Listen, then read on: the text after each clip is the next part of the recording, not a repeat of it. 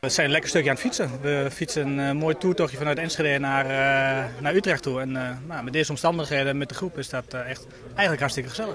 En hoe gaat het tot nu toe? Want we zijn nu zo'n twee, drie uur bezig. Nou, we zijn 85 kilometer onderweg. Waar het gemiddelde ligt niet zo hoog, 25. En als je een beetje goed van de fietsen bent, dan is dat goed te doen. De temperatuur is lekker.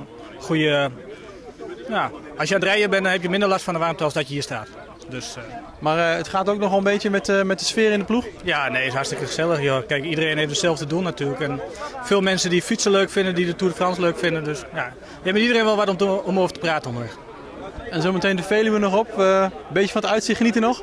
Ik hoop het. Ik hoop dat ze niet te veel klimmetjes nemen. En dan wordt het niet zo zwaar. En dan kunnen we rustig van het uitzicht genieten. Nou, geniet er niet meer van, even van je pauze nog. Dankjewel. Dankjewel.